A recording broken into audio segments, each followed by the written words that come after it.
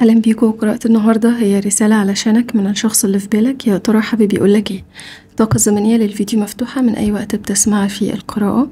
إذا كنت جديد في القناة من فضلك اشترك وفعل جرس التنبيهات علشان يوصلك كل جديد. وإذا كنت بحاجة لقراءة خاصة لينكات ورابط التواصل موجودة في صندوق الوصف باليوتيوب تحت الشاشة. الاختيارات اللي معانا ممكن تختاروا الحجر ده أو الحجر ده. فكروا في الشخص اللي بتسألوا عنه وبعدين اختاروا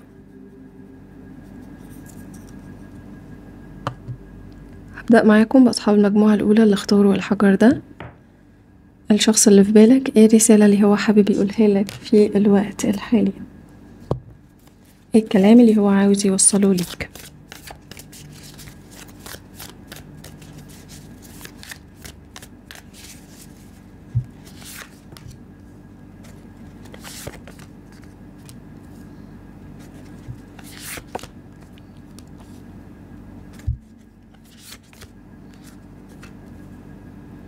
هو أنتم كأشخاص ممكن تكونوا عزاب وممكن تكونوا عايشين في علاقتين يعني في علاقة في حياتك وده شخص تاني. أو في في حياتك اتنين في الوقت الحالي بس في منكم مجموعة من الناس عزاب وأموركم المادية قوية أو في وضع مادي كويس ممكن مستقرين ماديا. وعندكم حياتكم المستقلة برضو.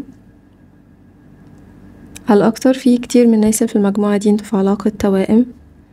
بترى إن في بعض الأمور العالقة أو المعلقة بينك وبين الشخص ده بشكل أو بآخر وقد تكون العلاقة دي أو الشخص ده كان بمثابة بداية جديدة أو تجديد للطاقة بتاعتك بشكل أو بآخر.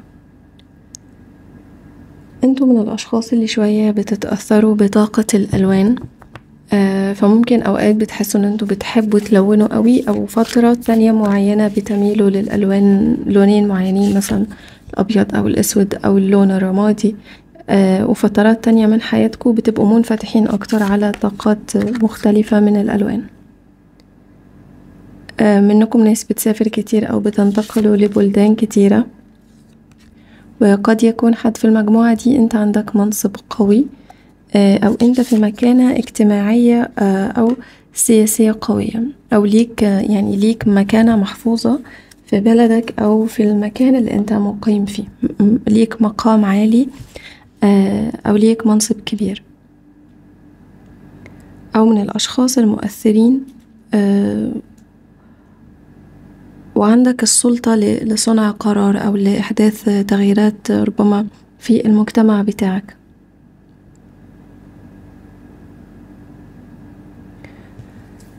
أوكي. ممكن تكونوا أبراج كابراج جايز تكونوا الحمل أو بتحملوا الطاقات الهوائية. لحد فيكم برضو الدلو والجدي والجوزاء والطاقة الترابية والمائية. طيب. خلينا نشوف الشخص اللي أنتوا حطيتوا نيتكم عليه.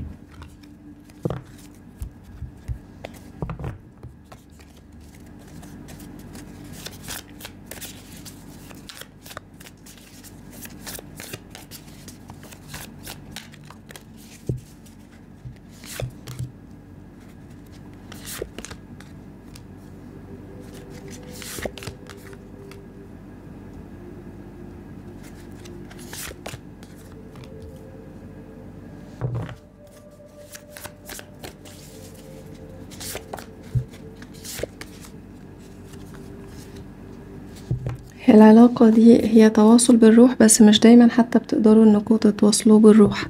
أحيانا بيكون في عكس أو عدم القدرة على التواصل بالروح بالشكل الكافي.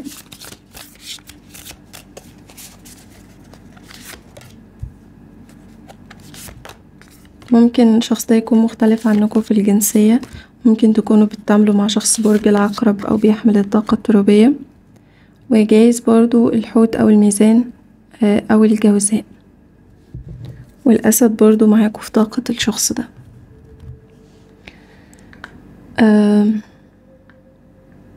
الشخص ده سبق ليه ودخل في علاقة زواج قبل كده وممكن بالفعل يكون هو في الوقت الحالي لازال في العلاقة دي لازال شخص متزوج أو لسه مرتبط أو لسه في علاقة متواجد فيها. من الأشخاص اللي عندهم وضع مادي قوي لكنه بيسافر كتير أو بينتقل كتير وقد يكون الشخص ده مختلف عنك في الجنسية يعني هو من جنسية تانية أو من دولة تانية أو مكان تاني. الشخص ده هو متحرر من الع من العادات والتقاليد لكنه موجود فيها. يعني كفكر أو كروح هو شخص لا ينتمي للعادات والتقاليد لكن كواقع هو ملتزم كل الالتزام بالعادات وبالتقاليد وبكلام الناس وبكده. لكن هو من جواه لا يبالي أو روحه الحقيقية لا تبالي بالعادات والتقاليد أو كلام الناس لكن تصرفاته كلها إن هو شخص يبالي ويهتم. أحيانا بيكون في تواصل روحي بينك وبين الشخص ده وأحيانا بيكون في سوء تفاهم في التواصل الروحي أو ربما تصل بعض الرسائل المشوشة أو المختلطة. طيب هو عاوز يقولك إيه في الوقت الحالي؟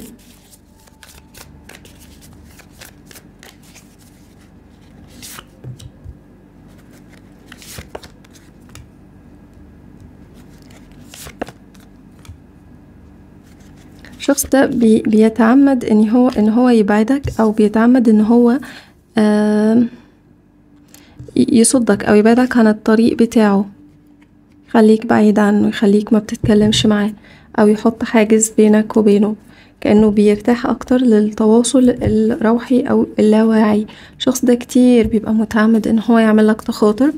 وأحيانا ممكن يكون بيحاول يبعد في طاقة المكان على أمل إن بعد المكان ينسي شيء بينك وبينه. هو الشخص ده عنده مشاعر ليكوا لكن هو متعودش إنه يستثمر في علاقة بناء على المشاعر. هو من الأشخاص اللي ممكن يعني انجذب ليكوا في البداية إنجذاب جسدي لكن مع الوقت بدأت تتحرك جواه مشاعر تانية. أو الشخص ده أنت لمست الطفل اللي جواه يعني قدرت تلمس الطفل اللي موجود جواه فحركت عند الشخص ده مشاعر ممكن مكانش متوقع أو مكانش جاهز إنها تتحرك في الوقت الحالي. هو مجبر على إنه يختار ربما بينك وبين حد تاني أو هو موجود في علاقة مش هيقدر يخرج منها في الوقت الحالي يعني جايز هو في علاقة وما يقدرش يترك الشريك في الوقت الحالي. يقولك لما قابلتك أول مرة بكل أمانة ما كنتش أتوقع إنك هتكون بكل الأهمية دي بالنسبة لي. الرسالة دي ممكن منه ليك وممكن تكون أنت اللي بعتها له. في يوم من الأيام هتبكي علي زي ما أنا بكيت عليك. في يوم من الأيام هتفتقدني زي ما أنا افتقدتك. في يوم من الأيام هتحتاجني زي ما أنا كنت محتاج لك. في يوم من الأيام هتحبني بس أنا هكون بطلت أحبك. فممكن أنت اللي تكون بعتها له أو ممكن يكون الشخص ده هو اللي بعتها لك. يعني لو كانت الطاقة عكسية أو هو اللي كان بيحاول يحبك ويقرب ليك وأنت كنت بتتجاهل الشخص ده فلو أنت خلاص أنت يعني الشخص اللي كنت متجاهل وجاي دلوقتي بتحب الشخص ده فكأنه بيقولك خلاص إن هو بطل يحبك. مش مهم أنت فين موجود دلوقتي لأنك دايما هتكون موجود جوه قلبي. لما شفتك أول مرة أنا يعني وقعت في حبك وقتها أنت ابتسمت لأنك أدركت إنه هو وقع في حبك أو وقع في غرامك من من أول لقاء أو من أول مرة شافك فيها. ممكن الشخص ده أحيانا بي بيحاول أو بيجاهد نفسه عن إنه يبعد عنك أو إنه يكون مفيش كلام أو مفيش تواصل بينك وبينه زي مجاهدة بيحاول إنه يبذل جهد عالي آه على أمل إنه يبعد. لأن هو من, من الأشخاص اللي خايف يحب أو خايف يستثمر بشكل قوي في المشاعر بتاعته وممكن دايما يكون بيتصرف كأنه حد يعني لا يبالي أو ما عندوش الشعور بالمسؤولية أو مش مهتم أصلا بأي حاجة متعلقة بالمشاعر.